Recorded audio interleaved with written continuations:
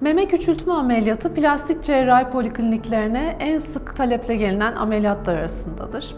E, meme küçültme talebiyle gelen hastalarda e, öncelikle hastanın ne kadar boyutta meme küçültmek istediği, doğum yapıp yapmadığı, doğumdan ne kadar süre geçtiği, emzirme dönemi var ise emzirmesi devam ediyor mu, bitti mi? Bunları bir ayırt etmeye çalışırız. Bizim istediğimiz uzun süredir o formda duran bir meme üstünden konuşmaktır, planlamaktır çünkü esasta.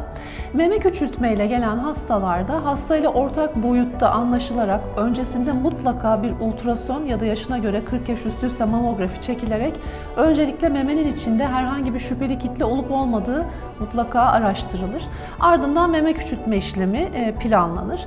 Burada e, bazen terste, memenin büyüklüğüne göre, bazen J, bazen lollipop şeklinde, I şeklinde izlerle e, meme küçültme ameliyatı yapılır.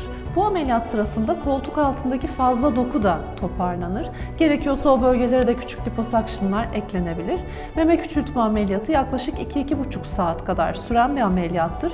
Bu izsiz bir ameliyat değildir ama e, izler nispeten memenin altında gizlendiği için hastayı ileride rahatsız etmeyecek izler haline gelişir. E, hastalar ameliyattan önce sırt ağrısı, boyun ağrısı, memenin altında pişik şikayetlerinden e, muzdarip iken ameliyat sonrasında sadece e, ufak tefek izlerle uğraşmak zorunda kalır. Bu yüzden çok konforlu bir hayat sunan bir ameliyattır.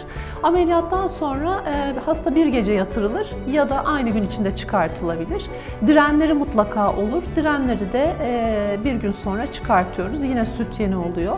Hastalar bir hafta sonra işbaşı yapabiliyorlar. Ağır kaldırma, ağır spor, koşu dışında ufak yürümelere bir hafta içinde başlayabiliyorlar.